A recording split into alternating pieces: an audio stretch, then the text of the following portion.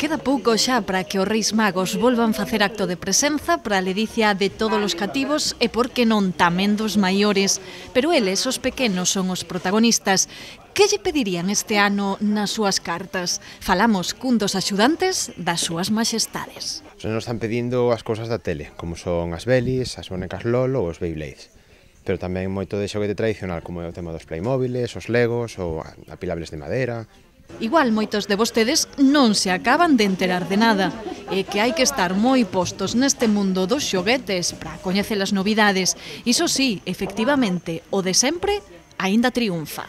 Realmente nunca desapareceron, porque a pesar de que o que máis chama atención é o que sae na tele, é o que se agota, claro, porque falamos dele seguido, eh, sempre se pediron os apilables de madera, puzles, eh, encaixables, eh, cousas que son para dar golpes, os balóns, Esperemos que Melchor, Gaspar e Baltasar teñan xa todo preparado porque os xoguetes máis demandados xa son difíciles de conseguir. É moi difícil atopar as belis e os estadios de Beyblade, case misión imposible.